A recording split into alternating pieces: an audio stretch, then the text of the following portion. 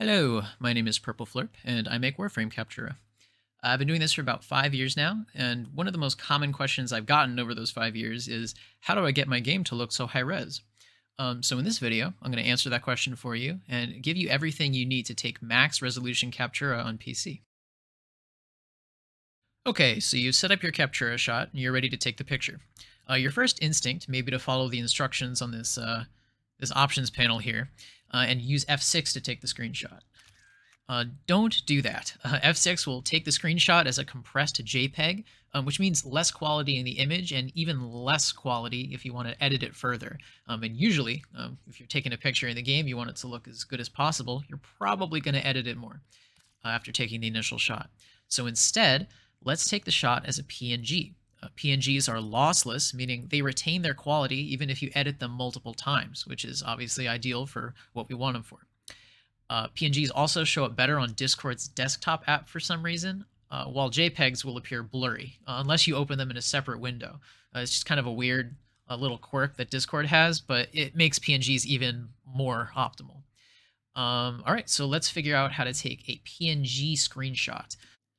There are actually a couple of ways to take Captura as a PNG. Um, one is to use the print screen function on your computer and paste the image into a separate program after that.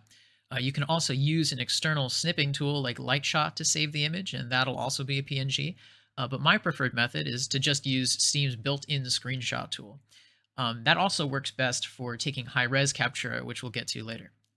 So to set up uh, PNG screenshots on Steam, you're going to go to Steam in the upper left-hand corner here. You're going to click Settings.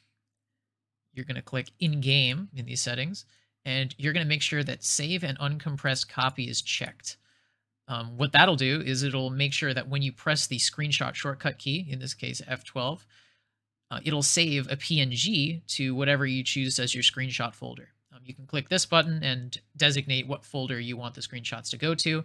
Um, and when you press F12, it'll save a PNG to that folder, which is pretty cool. All right, now for the interesting part. Uh, taking 4K, 8K, or if you're crazy, uh, 10K resolution pictures in Captura. Uh, this technique is called hot sampling, and it lets you take super high-res pics even if your hardware is on the lower end of things.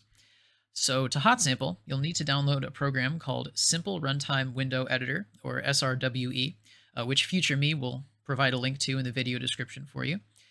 Essentially, this tool lets you boost your game resolution right before you take your screenshot. Um, so this lets you set up the capture itself in your native resolution, which is nice and comfortable for you, um, and then boost it right before the shot.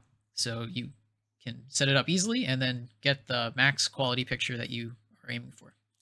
Once you download SRWE, you open it up, you click select running application, and obviously you're going to select Warframe from the list.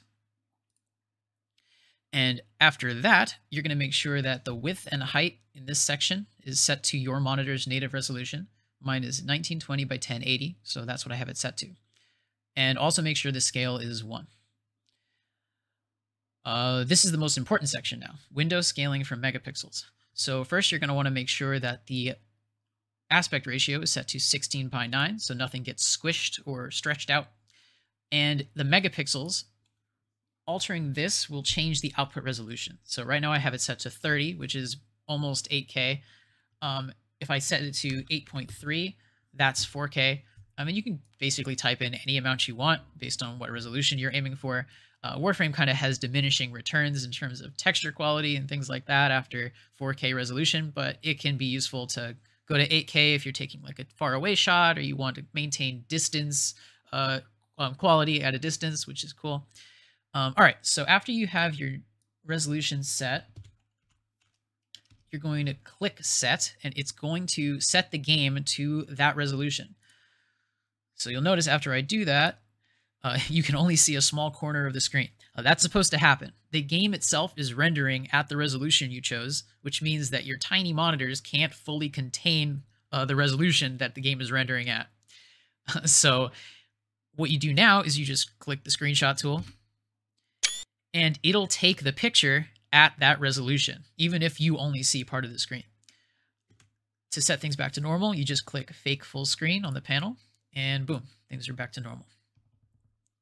Um, yeah, so that's pretty much it. After that, your screenshot will save to your screenshot folder that you designated earlier. Um, let's go check how that turned out. So here we are at the screenshot that we took.